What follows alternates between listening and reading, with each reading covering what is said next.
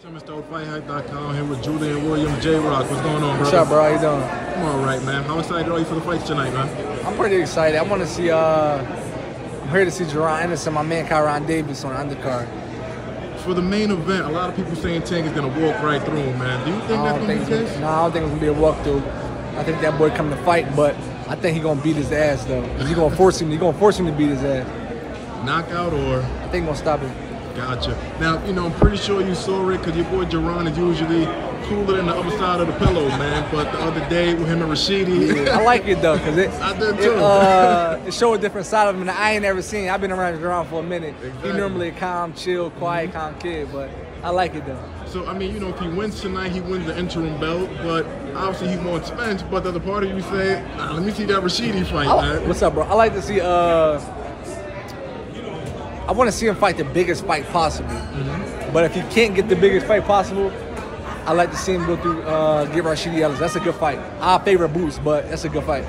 Do you think Rashidi is the guy to really test Boots? Because no, this, fight's been going like 30 seconds, man. He is crazy. Um, I don't know. Rashidi Ellis can fight though, bro. He ain't no. Uh, he got self esteem. You know what I'm saying?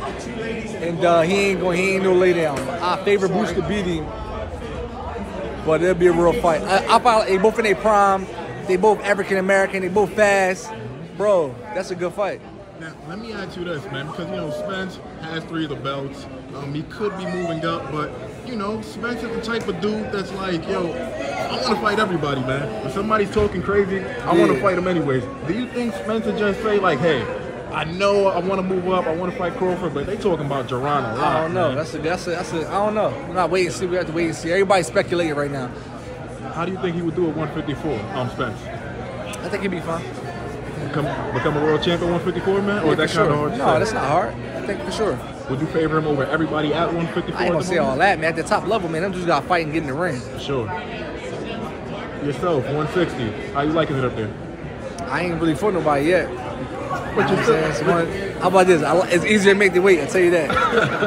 I tell you that. So I will say that. But still, I mean, you look sharp. You look Yeah. really good. Everybody Yeah. online was really talking about you. I'm Yeah. pretty sure you saw after your fight, Spence was like, "Yo, J Rock, when he's clicking, that boy could go, man." Yeah, for So sure. Y'all seen it. Yeah. I'm pretty sure you probably want a title shot up there, man. How far away you think you are from getting one up there, man? Uh, I'm not you, sure, you are, man. You are a name, man. Yeah, for sure. I'm not sure how far I am, but I do think I'm gonna get a shot. I think I'm gonna get a shot. I don't know who against. it's- I'm gonna get a shot against somebody. I don't know against who, but I'll get a shot against somebody. Do you want that title shot sooner rather than later? You want to get your feet wet first? Nah, bro. I'm in, I'm in this game to win world titles. My, I, I got 37 pro fights. I got like 80 amateur fights. I've been pro for four, since 2010. Uh, My feet wet. My feet been wet. You know what I'm saying? What I'm waiting for. It. I only say that because you know the setbacks before. Nah. they're just coming back. Yeah, yeah. yeah. You know, I remember when I talked to you, you said you wasn't gonna go to 160. You were just like, I'm going up there to test it. Not really sure if I like it yet, but now that you did officially test it, though, do you feel like okay, this is comfortable, even though you didn't really fight like the top level Yeah, guys yet? uh, I knew it would be. I knew it would be comfortable because, like I said, it's easier to make weight. I don't think you guys, you guys don't put enough emphasis on making weight because you, you gotta. It's, it's not a knock on y'all, but something you gotta go through to know what it feel like. Mm-hmm. You know what I'm saying? You're cutting off 25 pounds or 20 pounds in the camp. You know what I'm saying? You gotta go perform in the end. You know what I'm saying? So, extra six pounds is a big deal. You know what I'm saying? So, I feel a lot better. So was a part of you kind of smiling when you was making that weight for that fight? Like, shit, man, I should have been up here a little Yeah, while know, ago. right? Yeah, I mean, got to eat a little breakfast. I'm like, I was cool. You know what I mean? That's a big deal, bro. You get a drink before weighing. Um, do you plan on going down to? I, I think it's gonna be in Vegas with um Breadman to help train um Caleb Plant, or are you just gonna kind of watch the Uh, it little bit? depends on what I'm doing, where I'm at. It depends. It depends. How you kind of think that's gonna play out between Caleb and um Benavidez, man? It's a hell of a fight. It's a good fight, man. It's a good fight. Like I said, at the top level like that, you guys got to get in there and fight in the ring, man. I can't sit up here and say you can't uh, compare opponent, do the component, uh, opponent comparisons. You can't do that. Those guys got to get in the ring and fight.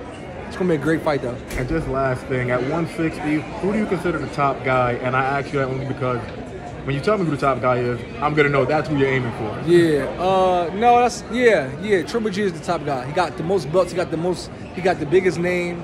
You know what I mean? He got all the legacy to come with him. You know what I mean? So I think he's still the top guy. Think he slipped though? I don't gonna say he's slow. I think he just got older. Father Time beat everybody. Everybody gonna get old. You know what I'm saying? But uh, he's a Hall of Famer. He's a great fighter, and uh, I got a lot of respect for him. Gotcha. Appreciate you, brother. Yep, thanks. No problem.